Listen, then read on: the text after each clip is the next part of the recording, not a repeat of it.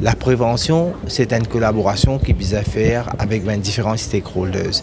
Ben, force vive, socioculturelle, toute une unité besoin rendre compte que dans chaque quartier Maurice, nous besoin former ben jeunes qui même pour un quelqu'un qui est capable de donner ben conseil à ben jeunes, à d'autres ben camarades. Vraiment, c'est très très triste d'abord hein, qui nous peut trouver ben euh, les bons d'abord qui nous trouvent ben fléau pareil qui nous rapporté mais c'est c'est touchant hein, c'est très touchant qu'ils nous trouvent euh, des enfants des enfants qui finissent dans ben fléau pareil. Alors moi je crois les nous tous nous devoirs parents éducateurs voisins connaît du monde qui reste dans la société, ben force vivre dans un quartier, nous tous besoin unir. Les là ne peuvent pas avoir ben quelque chose comme ça arriver. Pas envie de trouver une situation pareille dans Maurice.